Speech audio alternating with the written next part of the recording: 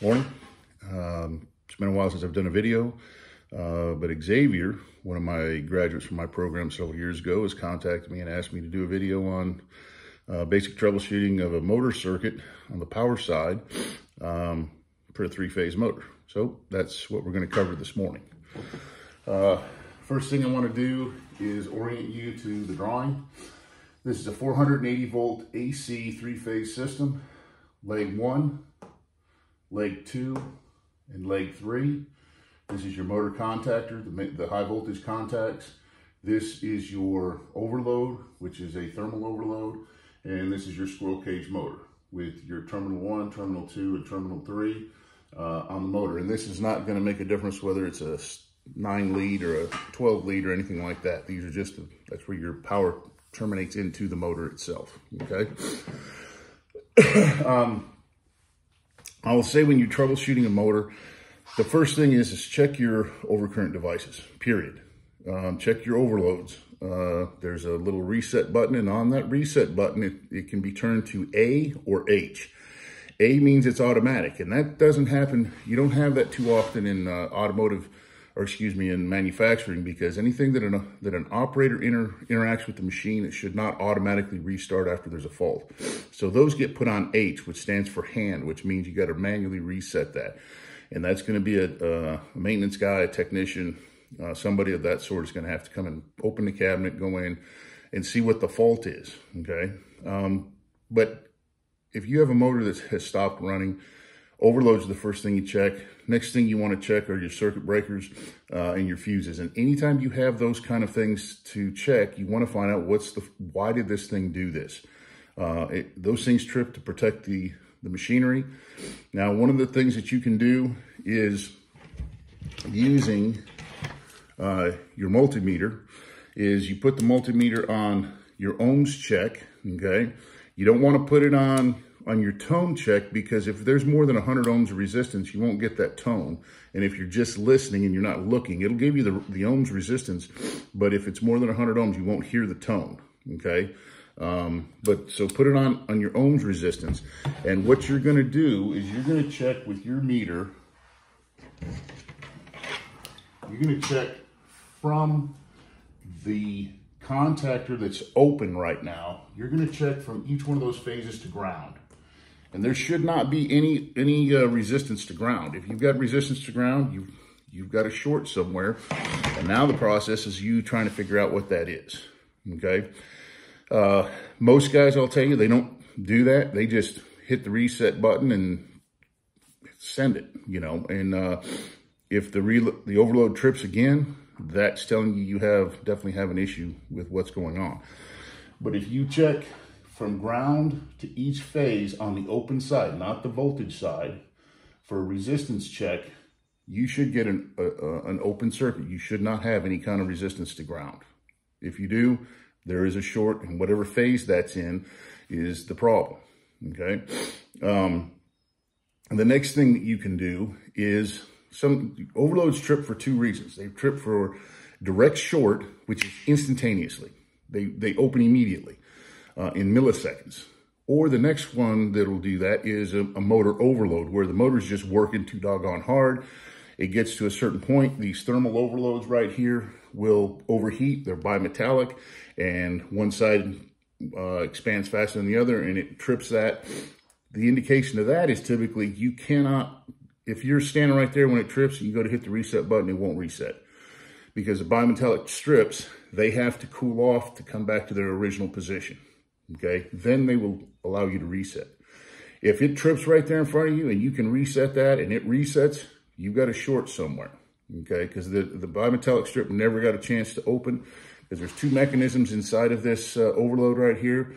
Um, and I won't go into details on that because uh, it'll make this video too long, okay?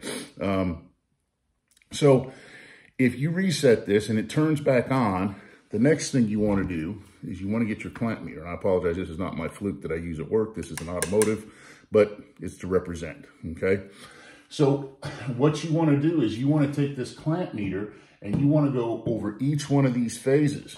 And each one of those phases should have the same current, and it may be off, you know, a, a couple hundred milliamps, Um, but they should be about the same. If they're four amps on the first one, you should be getting four amps nominal across each one of those other two uh, currents.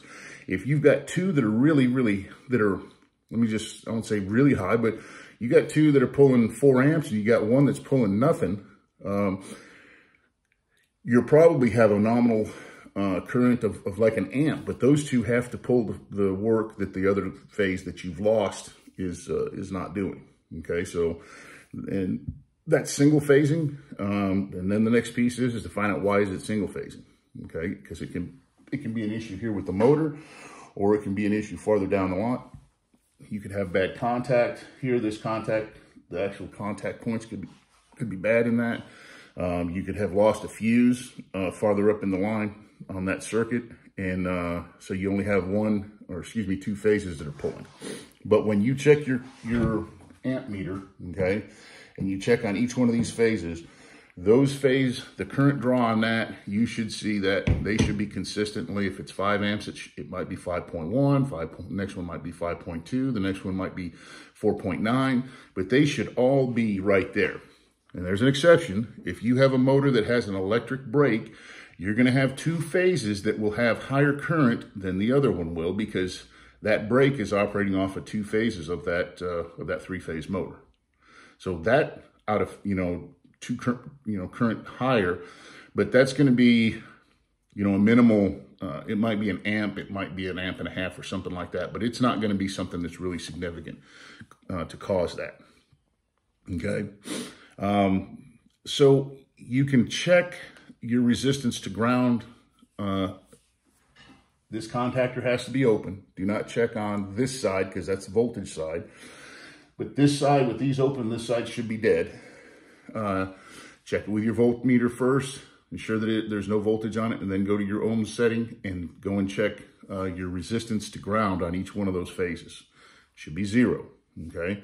Um, if if you have um, resistance to ground, come down here to the pecker head and disconnect the wires at the pecker head because if the if the short is inside the motor, um, you're gonna have that'll isolate that. You know, if you disconnect all three of these wires over here and you go back up here and you check your resistance to ground and that's gone away, then it's gonna be inside the motor. That motor is what's causing the problem, which is, I would say a good part of the time, that's what it's gonna be anyways, okay? Now, another test that you can do with your multimeter, you put it on AC volts, okay? And what you're gonna do is a voltage drop test. You're gonna do that voltage drop across the contactors, okay? And this is while it's energized. And you're gonna see if this is 480, you should, you should, you might see 16 volts or something like that going across there. But if it's a good contact, you're gonna see very, very low voltage. If the contact is bad, let's say across this one we see uh, a low voltage, say around 16 volts. That's the voltage drop. And then we see this one over here and we've got like nothing and nothing. That's telling us those contacts are good. And the one with 16 volts drop, there's more resistance there and it's it's uh, losing that. But that test you can do without having to shut the, shut the machine off if the machine is running. Okay, because sometimes when we turn the machine off, we clear a fault out. I mean, we do that all the time uh, where you do a hard, hard restart to try and clear a fault. And uh, if you're trying to troubleshoot, you don't want to do that. And it's less uh, invasive to the machine. You're not going to mess up a process or anything like that. Okay. And I wish I had a live circuit here that I could show you this. Um, but uh, the voltage drop check uh, can work for you uh, here also. And you, you also want to do that down here it'd be difficult to do at the at the uh, motor itself. Um, most of the time, you're either doing with one of two things, either uh, wire nuts. Uh, sometimes you're seeing these Wago clips that are coming out nowadays. They're getting more popular. Or you got a terminal block with uh, like 930 seconds nuts that are holding everything together. Okay, especially if you got European uh, built motors. Okay. Um, but the voltage across here, you can also check your voltage from the hot side from your load side and check from your T side voltage to ground. If you get 277 here, and then on this side over here, you get, you know, 100, you got a bad set of contacts, you know, that are, that contact might is, is going to be bad. And that happens every time those contacts Not when they make, it's when they break. And you see that flash inside the, uh, inside the contactor. That's pitting those contacts each time that does that. And usually when it's a one, every once in a while, it's not an issue. But if you got somebody over there that's constantly hitting the stop and, and uh, start button, that'll, that'll uh, destroy those contacts. Okay. So what do we do? First thing we check is overloads and any other overcurrent protection. Next thing we want to do with this part of the motor de, uh, circuit de-energized, check our volt, check for a resistance to ground. We should have, we shouldn't have anything, okay? Um, our next want to do is use our clamp meter and check if we turn this thing back on. We're going to check each one of our phases for our current draw, and they should be the same unless they've got you've got a uh, uh, electric brake uh, on that motor.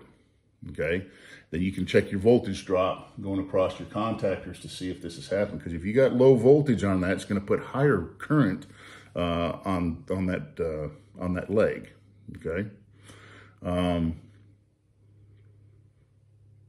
and that, if that has not answered anybody's questions, please put comments uh, down here in the comment section and I will clarify uh, anything.